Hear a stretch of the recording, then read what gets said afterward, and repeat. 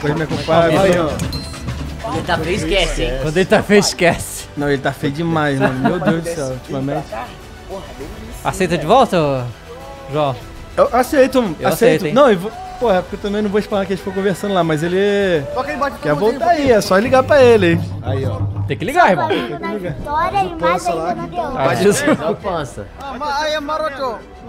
Não é só o Flamengo que tá atrás dele, não, que ele me falou, hein, mas também não vou Ah, não. o Flamengo. Não, é. Olha aí, torcida do Real Madrid, todo mundo se- É, sentadinho. mas é, né? Mas na, na, na Liga é assim também. É, então, porque é muita gente de fora, né? que- do- da Espanha que vai lá assistir, né? Maneiro. Maneiro. Maneiro. Cara, e- moral lá, e- galera. é, então, moral lá, eu, eu acho que a gente podia. é, galera, se inscreva lá no canal do João. É, mas dá pra fazer um pacotão ao Ilau, né? Pegar o Cuejá, o Michael e o Vieto. Eu acho que era uma. Pô, esse Vieto jogou muito, né? É, acho que é bom pra Jogou reserva muito, ali da Rascaeta, né? né?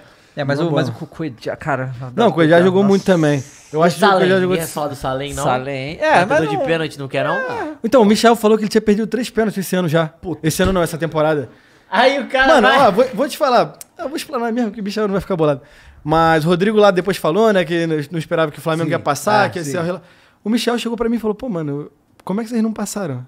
A gente tava em crise, o nosso time tava, porra, todo desfalcado, todo fudido. Caralho, o nosso batedor de pênalti perdeu três pênaltis esse ano, fez os dois e você. Eu falei, puta que pariu, bicho, não fala isso pra mim, não, mano. É, vai pra ficar, vai ficar uma Enfim, puta tá tudo, aí vocês tá tudo gravado, eu vou soltar isso aí. Entendeu?